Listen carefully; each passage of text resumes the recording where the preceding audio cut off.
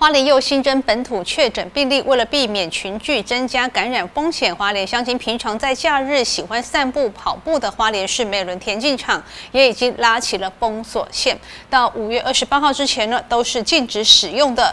不过晚上还是有民众无视禁令摸黑在跑步，相关单位会加强巡逻和劝导。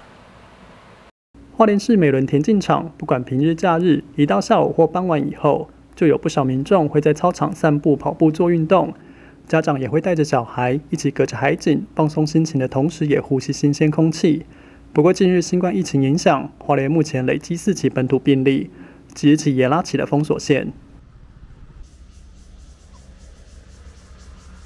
健身房没开，不少民众以为还能来到美伦田径场，也都扑了个空，进不去。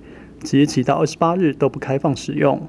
也因为封锁的关系，厕所以及原本晚上的照明设备都关闭。